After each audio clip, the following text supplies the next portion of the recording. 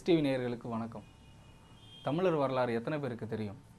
தமிழர் மரபு பாரம்பரியம் பண்பாடு கலாச்சாரம் இப்படி எல்லாவற்றையும் மறந்து மறைத்து அதை அழிவுக்கு கொண்டு சென்றுள்ளோம். இனி பிறக்கும் எல்லா குழந்தைகளுக்கும் சொல்லிக் கொடுக்கும் நிலைமை ஏற்பட்டுள்ளது.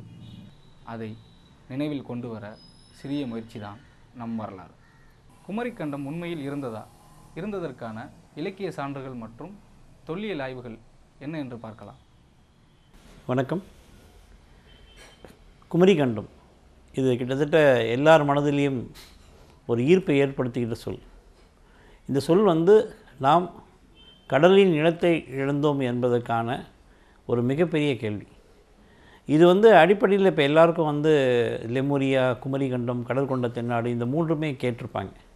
ஆனால் ஒரு புவியியல் மாற்றங்களால் நாம் வரலாற்றை எப்படி தொலைத்து நின்றோம் என்பது நிறைய பேருக்கு தெரியாது.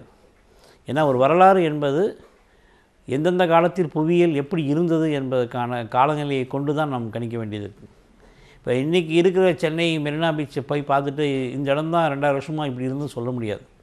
ஏன்னா கடல் உள்ளேயும் இருந்திருக்கலாம் கடல் வெளியும் போயிருக்கலாம். இப்போ இதில் வந்து எல்லார் மனதிலும் இருக்க கேள்வி கண்டும் உண்மையிலே இருக்கா இல்லையா? ஆனால் இது வரைக்கும் இந்த கேள்வி வந்து இலக்கியத்தின் அடிப்படையில் தான் செயல்பட்டுருக்காங்க. ஆயிரத்தி எண்ணூற்றி அறுபத்தி நாலில் ஹெக்கேல் வந்து நம்ம இந்திய பெருங்கடலில் மடகாஸ்கர்லேருந்து கன்னியாகுமரி வரைக்கும் இருந்த இடங்களுக்கு வந்து லெமூரியான் பேர் வைக்கிறாங்க. ஏன்னா இந்த ரெண்டு இடத்துக்கும் நடுவில் கடலில் ஒரு நிலப்பாலம் இருந்திருக்கலாம்ன்றது அவங்க நம்பினாங்க. ஏன்னா தாவரங்கள் விலங்குகள் கிட்டத்தட்ட மடகாஸ்கரில் இருக்கக்கூடிய இங்கே தமிழ்நாட்டிலையும் அவங்க பார்த்தாங்க. தாவரங்களையும் தமிழ்நாட்டிலையும் பார்த்தாங்க. பப்புஞ்சோகினியா வரைக்கும் இந்த தொடர்ச்சி இருக்குன்றதால இதுக்கு அவங்க லெமூரியான் பேர் வச்சாங்க.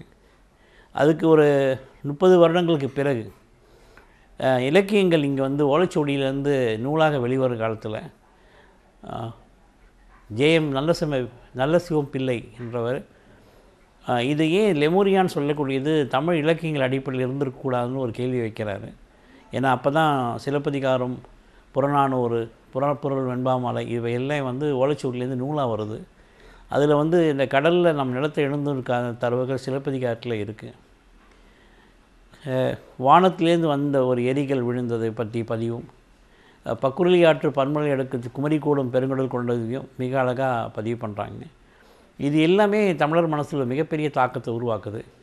ஆனால் ஒரு இன்னொரு கேள்வியும் இருக்குது ஏன் லெமுரியா என்ற லத்தீன் கிரேக்க சொல்லை நம்ம ஏன் பயன்படுத்தணும்?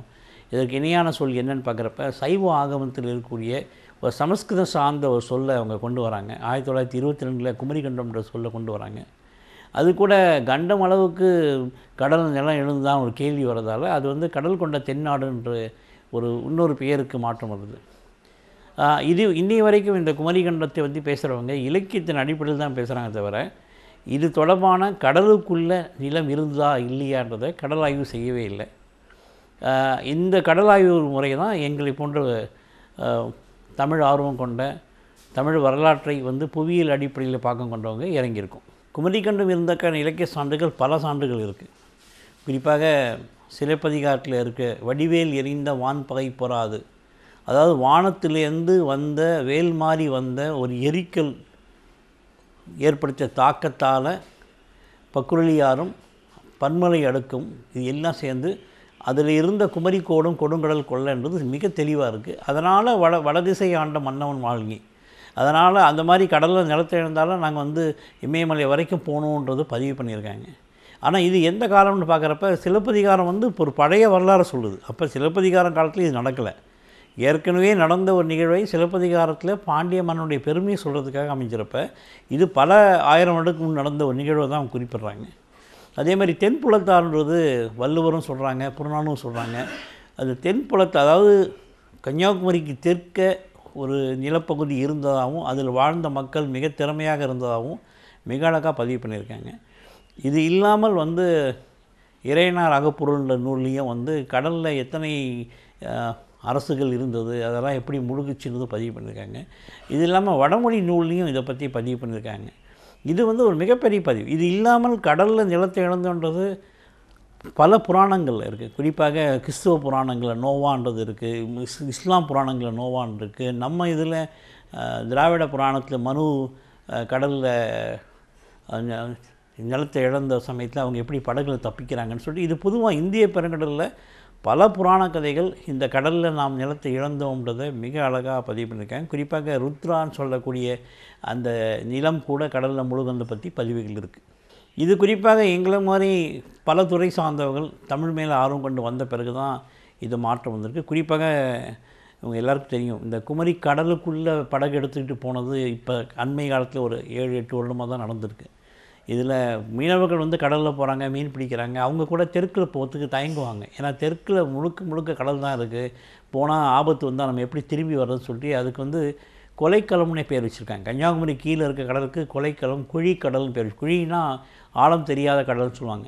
இப்போ இந்த மாதிரி ஒரு பயத்தில் எனக்கு போகாமல் இருந்தப்போ இப்போ எங்களை மாதிரி வந்து நாங்கள் முழுகி போன தீவில் நிறைய மீன் கிடை மீன் கிடைக்குன்ற ஒரு ஆர்வத்தை தூண்டிவிட்ட பிறகு இப்போ கடலில் நிறைய பேர் போக ஆரம்பிச்சிருக்காங்க. குறிப்பாக இன்றைக்கி இந்தியாவிலே ஆழ்கடல் போய் மீன் பிடிக்கிற தன்மை வந்து குமரி மாவட்டத்தில் இருக்க குறிப்பிட்ட ஒரு ஒன்பது மீனவ ஊர்களில் தான் இருக்குது. குறிப்பாக தேங்காய்பட்டினத்துலேருந்து கேரளாவுடைய எல்லை வரைக்கும் அந்த தூத்தூர்ன்ற ஊரை தலைமையாக கொண்டு அந்த மீனவர்கள் தான் ஆழ்கடலுக்கு சிறிய படகுலேயே போகிறாங்க முப்பத்தேழு அடி படகுலேயே வந்து அவங்களால பத்தாயிரம் கிலோமீட்ரு இருபதாயிரம் கிலோமீட்டர் போயிட்டு வர முடியுது. அடிக்கடி நீங்கள் பேப்பரில் பார்த்துருப்பீங்க ஈரானில் மீனவர்கள் கைது செங்கடலில் மீனவர்கள் கைது சீஷஸில் மீனவர் கைதுன்னு ஒரிசாவில் மீனவர் கைதுலாம் பார்த்துருப்பீங்க. இது இந்த மீனவர்கள் இவங்களை பயன்படுத்தி தான் நம்ம வந்து ஆழ்கடலில் மீன் பிடிக்க வச்சோம். இப்போ இன்றைக்கி தொழில்நுட்ப வசதிகள் இருக்குது அதே மாதிரி செயற்கைக்கோள்கள் எடுக்கக்கூடிய படங்கள் இருக்குது ஒரு பன்முனை பார்வையில் நம்ம ஆய்வு பண்ணுறப்ப முழுகி போன தீவுகளை முதல்ல நம்ம அடையாளம் கண்டிருக்கோம். அந்த முழுகி போன தீவுகளில் இருக்கக்கூடிய இடிபாடுகளையும் நம்ம அடையாளம் கண்டிருக்கோம். அதனால் அந்த குமரிகண்டம் லெமுரியா கடற்கொண்ட நாடு இதன் உண்மை நிலையை நம்மளால் தொல்லியல் தரவுகள் மூலம் நம்மளால் நிரூபிக்க முடியும். இப்போ கூட கன்னியாகுமரி கடலில் மரிக்கினான்னு ஒரு தீவு இருந்ததுக்கான அடையாளங்கள் கிடச்சிருக்கு. ஒரு ஐம்பத்தி மூணு கிலோமீட்டரில் வெஜ் பேங்க் சொல்லுவாங்க. அது கூட நாங்கள்லாம் வந்து ஜீ தமிழ் டிவியில் நம்பினால் நம்புங்கிற நிகழ்ச்சிக்காக அந்த இடத்துலையே போய் நாங்கள் வந்து படம் எடுத்துகிட்டு வந்தோம். அந்த முழுகி போன அந்த தீவு இருந்த இடத்துலையே படம் எடுத்துகிட்டு வந்தோம். அங்கே தான் இப்போ சுறா மீன்கள் அதிகமாக கிடைக்குது.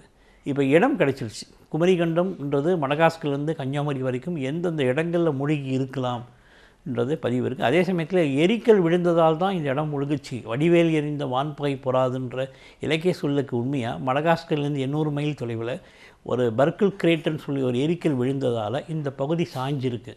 அதாவது பூமி வேகமாக சுழற பூமியில் ஒரு வே ஒரு மிகப்பெரிய பொருள் விழுந்தால் எப்படி பூமியுடைய நிலத்தட்டு சற்று தனது அச்சிலேருந்து மாறணுன்றதை மிக தெளிவாக நம்மளால் புரிந்து கொள்ள முடியுது. இதை வந்து இப்போ தொடர்ந்து ஆய்வு பண்ணுறது மூலமாக இது ஏற்கனவே ஒரு பன்னெண்டு வருடம் ஆயிடுச்சு. ஆய்வு பண்ணுறது மூலம் மூலமாக ஒரு புவியியல் மாற்றங்களால் நாம் கடலை இழந்தோம் என்பதற்கான மிக தெளிவான அடையாளங்கள் நமக்கு கிடைச்சிருக்கு.